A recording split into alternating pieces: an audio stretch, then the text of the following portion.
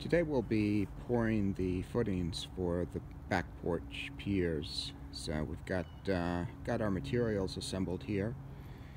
Concrete we'll be using will be made from Portland cement, concrete sand, and number 57 gravel. The ratios that we'll be using are easy to remember. It's one, two, three. One part cement, two parts sand, three parts gravel. We've also got some four foot lengths of rebar that will will sink into the concrete and those will go up through the concrete blocks and anchor those to the footing.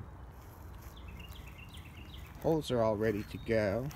They're all excavated at least 24 inches below grade and we've got um, four pieces of 18 inch rebar in the bottom of all the holes.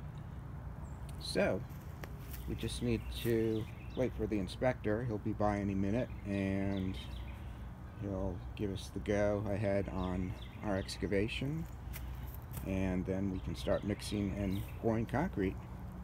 We'll be doing our own mixing. We've got this little uh, like uh, two cubic foot mixer that does the job. So we'll crank it out and should have all of this poured today. And we've got about 72 hours of reasonably warm weather. So that's just what we need.